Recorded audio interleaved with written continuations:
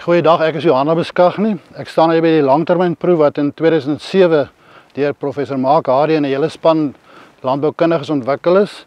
Die hele idee hier is om te kyk na die effek van grondversteuring en wisselboustelsels op die chemiese, fisiese en biologiese eienskappe van die grond. Uh so ons het 'n kombinasie van al drie die goed wat wat uh basies uh so uh, grondgesondheid beïnvloed. Ek gaan net vinnig verduidelik wat ons doen. Ons het vier behandelings. Eerstens is daar 'n zero till behandeling. Hier gebruik ons 'n basies 'n skuifplanter om om net te plant. Uh, die grond word minimum versteur. By die tweede behandeling gebruik ons 'n die no-till planter wat 'n tandplanter is en hier word die grond 'n bietjie meer versteur as in die geval van die zero till.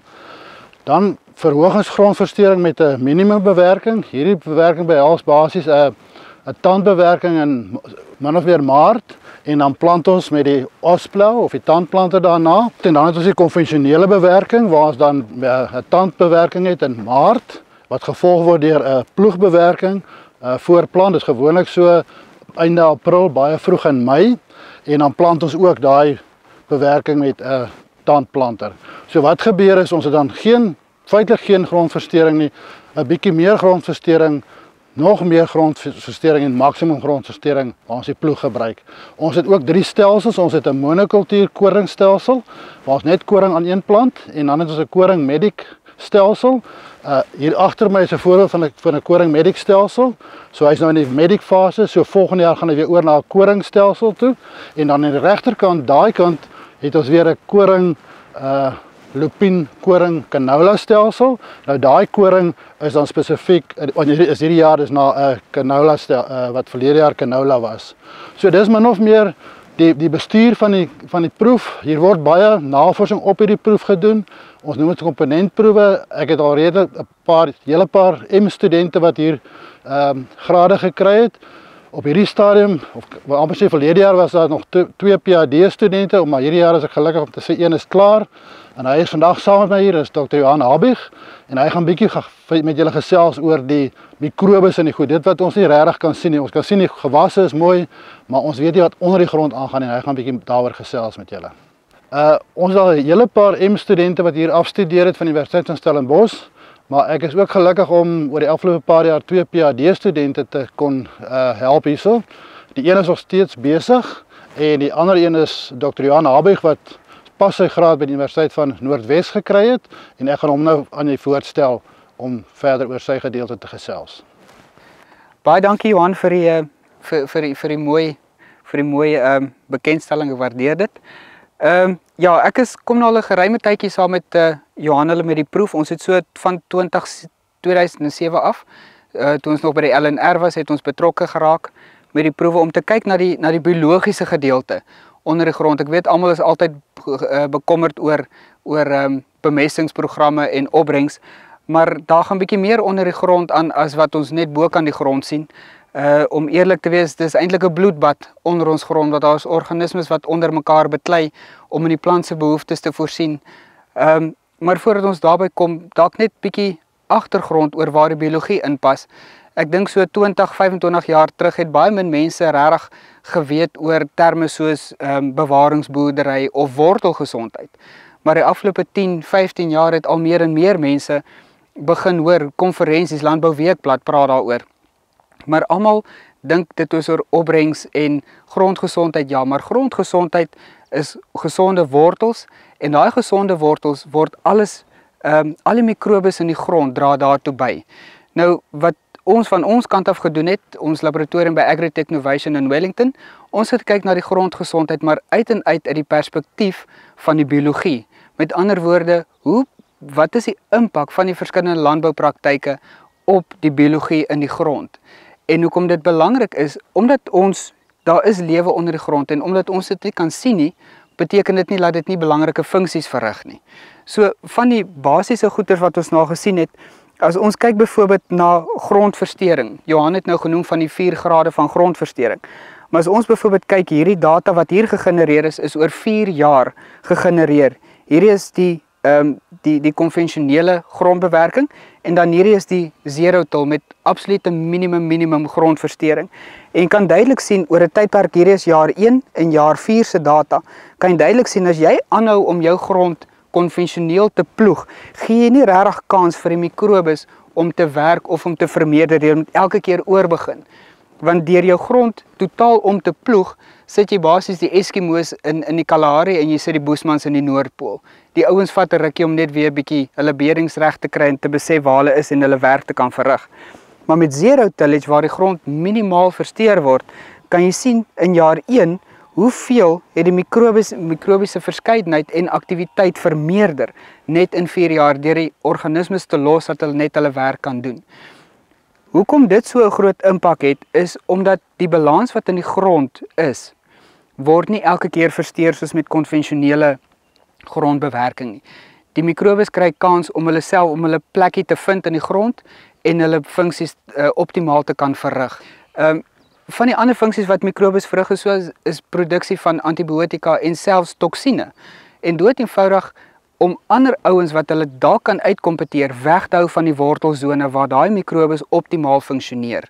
Nou van die organismes wat ons na gekyk het is mik mikroorganismes, bakterieë, ehm um, swamme oor die algemeen, ehm uh, maar ook spesifiek na mikorrhizas wat ons gekyk het. Ek sou nou 'n bietjie daaroor gesels, maar ook alwurms. Nou oom voordat jy gryp na jou bakkie sleutels om na die koöperasie te ry om alwurmmiddels te gaan koop, byt net bietjie vas en hoor net eers wat sê ek. Alwurms in jou grond, daar is 5 verskillende groepe alwurms in jou grond. En basies net een van daai groepe alwurms is die ouens wat jou plante se wortels aanval. Die oorblywende 4 groepe hou bakterieë getalle in toom, hou swamgetalle in toom, hou mekaar in toom en dan is ook 'n laaste groep wat somme al die ander ook in toom hou. Maar die rede hoekom alwurms so 'n groot plaag in die grond is, is omdat daai balans in die grond is nie reg nie. So deur hierdie verskillende praktyke op lang gewens, die verskillende rotasiegewasse, die rotasiestelsels, die rotasie, die die gewasvolgordes en ook die grondversteuring dit te monitor oor 'n tydperk van ons het dit gedoen oor 'n tydperk van 5 jaar, kon ons kyk watter van hierdie verskillende landboupraktyke het die mees positiewe of mees voordelige impak op die mikrobes in die grond. En die rede hoekom ons dit wil doen is ons wil daai mikrobes stimuleer om optimaal te werk om in die plant se behoeftes te voorsien. Hoe meer ons die mikrobes inspann om in die plant se behoeftes te voorsien, hoe minder chemiese kunsmis hoef ons toe te dien. Want totale die totale fosfor in die grond of stikstof in die grond word nog altyd net bepaal uit 'n chemiese oogpunt uit. Niemand het nog 'n biologiese bydrae ingewerk nie. En dit is waarin ons op pad is om te werk. Nou lank gewen spesifiek het ons agtergekom dat byvoorbeeld met met die twee gewas rotasiestelsel wanneer die rotasiestelsel wanneer ehm um, koring die eerste jaar geplant word en dan gevolg word met 'n medic oor 'n tydperk van 5 jaar was daar dan 3 medic gewasse geplant en net 2 korings En net deur jou siklus met 'n koring te begin en nie 'n medic nie, gee jy gee jou mikrobes 'n voorsprong. En dit is wat ons opgetel het uit uit ons navorsing uit. So die gewasse wat jy plant is belangrik, maar selfs die volgorde waarin jy dit plant is net so belangrik. So wat ons al gesien het as jy meer as jy oor 'n tydperk van 5 jaar meer medics as koring in jou in jou rotasie gewas het, is dit tot voordeel van die mikrobes in jou grond. As ons kyk na na die drie gewas rotasiestelsels, het dit uitgekom dat langgewens veral wanneer canola voor of na 'n koring geplant word, soos soos die proef hier langs aan, is dit ook tot meer voordeel van die mikrobes as wat dit deur 'n lupien gevolg word. En dood eenvoudig daar is allerlei interaksies in die grond wat die verskillende mikrobes bevoordeel. So die punt wat ek wil maak is hierdie tipe proewe is wat ons in staat stel om wat ons gedurig deur kan monitor, wat ons in staat stel om half ek wil amper sê ehm um, riglyne vir verskillende streke, nie net in die Kaap nie, maar ook in die res van die land te kan stel om te kan sê, weet jy, hierdie gewasse vir hierdie streek gaan optimaal wees vir jou mikrobes op jou land, op jou plaas. En dit is waarheen ons wil gaan. Ons wil tog nie ons wil gewasse plant wat goed is vir die sak, maar wat ook goed is vir die grond en wat volhoubaar is om net totaal ehm um, nie die mikrobes in ag te neem nie is nie regtig volhoubaar nie. Dit is 'n korttermyn oplossing en dit is ook waar dis die groot bydrae wat navorsing soos op lang gewens ehm um, die navor die navorsing wat op lang gewens gedoen word bydra tot die langtermyn ehm um, hopelik oplossing of die herstel van die balans van die biologie in die grond. Met die proewe soos wat uh, Johan Labuskaghni op op langgewens doen, ehm um, is daar is van die belangrike punte wat uitgekom het veral tot voordeel van die opbou van die microbiologie in die grond is minimale grondversteuring so min as moontlik. Uh natuurlik die opbou van organiese materiaal, maar dan ook 'n verskeidenheid dekgewasse. Hoe groter verskeidenheid dekgewasse wat jy kan of gewasse wat jy in 'n rotasiesiklus kan plant, hoe beter vir die mikrobes. En dood eenvoudig daaroor elke keer wanneer jy 'n ander gewas plant, is daar net meer en meer kos wat in die grond in die grondstelsel infiltreer en dan die mikrobes stimuleer. En hoe meer ons daai mikrobes kan stimuleer om ons ek wil amper sê ons organiese ag ons anorganiese chemiese kunsmistoediening te verminder, hoe meer volhoubaar is dit veral vir die langtermyn, nie net vir ons opbrengste nie, maar ook vir ons sakke en vir die gesondheid van ons grond. En ons weet wat gesonde grond, gesonde gesonde gewasse, gesonde mense. Ehm um, ek wil ook graag baie dankie sê aan die Wintergraan Trust as ook al die personeel uh by Langgewens proefplaas wat wat wat die befondsing en die en die mannekrag beskikbaar gestel het vir vir die suksesvolle afhandeling van my studie Wes Weskaap Departement van Landbou. 'n Groot dank van my kant af. Ehm um, ook daarvoor so, sonder hele sonder die befondsing, sonder die proewe was daar nie 'n studie nie en ek hoop ook dat die resultate wat uit die studie uitgekom het ook tot voordeel van julle sal wees uitbreiding van die proewe en die verspreiding van die woord. Dankie. Ek is Marie van der Merwe. Ek staan vandag hier op Langgewens by die langtermyn bewaringsbewerking proef. Hierso is um vier bewerkingsstelsels: zero till, no till, minimum till en conventional tillage. En dan is daar drie wisselboustelsels, um soos wat Johan genoem het. Dan het ek gaan kyk na die verspreiding van die nutriënte in die grondprofiel. In die 1980s is koring bemark deur rade. Die prys is vasgestel op 'n insetkoste basis. En dit het boere gemonokultuur gemotiveer en om die hoogste opbrengs te jaag. In 1997 is die beheerrade uitgefaseer. Daarna is boere blootgestel aan internasionale markte en die monokultuur en bewerking het veroorsaak dat die grondvrugbaarheid en grondgesondheid afgeneem het. Die koolstof het verlaag en bewaringsbewerking is aanbeveel om 'n verbetering in die grond te maak. Bewaringsboerdery behels die minimumversteuring van die grond, wisselbou met verkieslike wat 'n verkieslike peelplant insluit en 'n permanente bedekking op die grond. Die is ook 'n dinamiese definisie want daar word ook 'n dierefaktor bygelas as ook dekgewasse en die en die gedagte is om wortels soveel as moontlik verskeidenheid van wortels in die grond te kry. Um wat plaasgevind het as gevolg van die minimumbewerking is dat daar minder versteuring in die grond is. So daar's minder interaksie tussen die gewasreste en die grondmikrobes. So dit veroorsaak dat daar reste op die grond lê, daar is ook meer reste op die grond en daar's minder inwerking. Dit het gevolge gegee tot stratifikasie van nutriënte. Dit is wanneer daar ongelyke verspreiding is van nutriënte in die grondprofiel. Vir alle elemente soos kalsium, fosfaat en kalium bou op in die 0 tot 5 cm omdat hulle minder mobiel is as die ander nutriënte. Ek het gaan kyk na die stratifikasie in hierdie proef en ek gaan nou met behulp van die grafieke um verder verduidelik wat ek bevind het.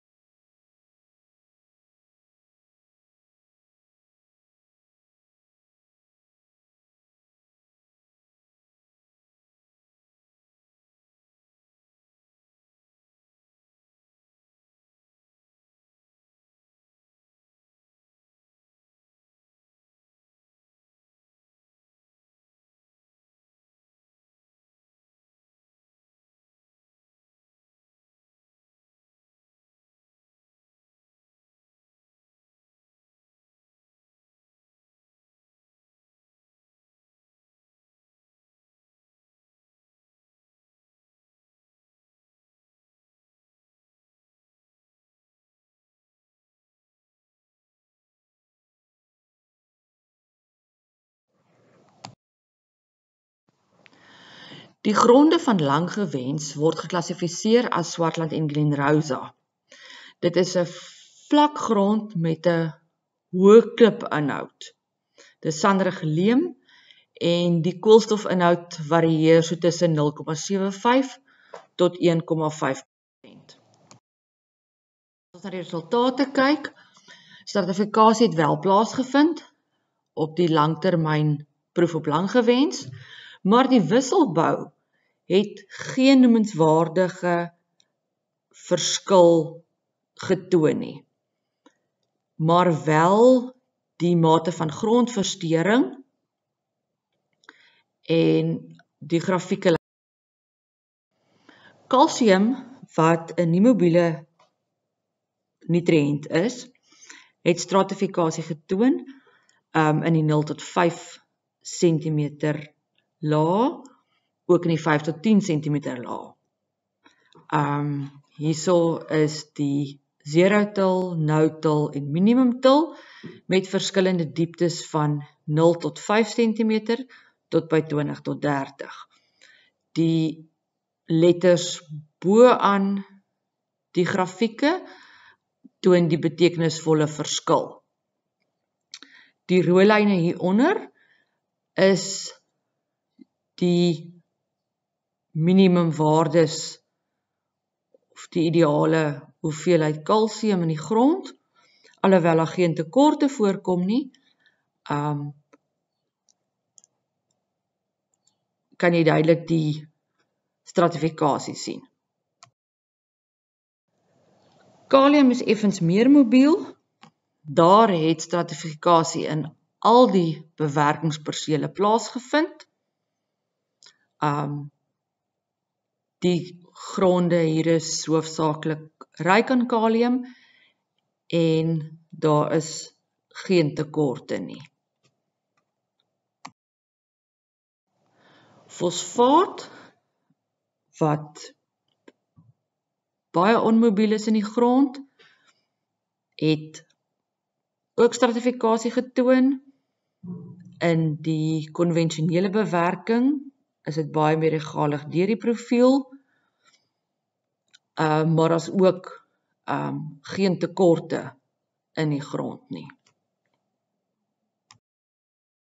Die grafiek wat my die meeste opgewonde maak is die koolstof ehm um, wat onder die 0 til en nou til pragtig op verhoog het.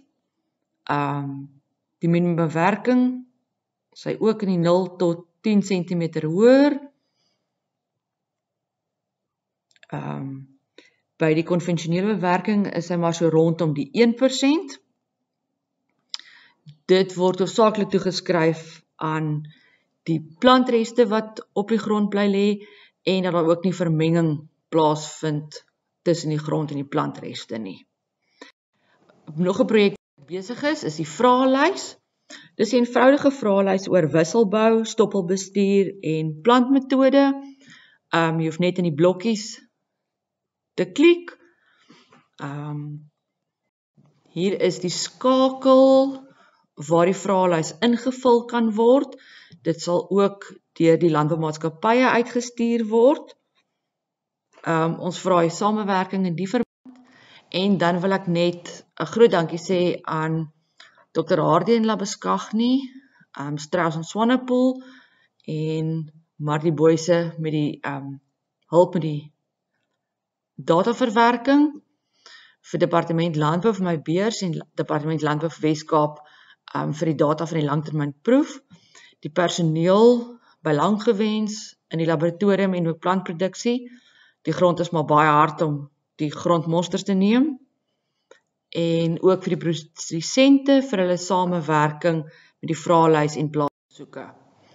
Ehm um, u kan my gerus kontak vir enige verdere inligting. Baie dankie.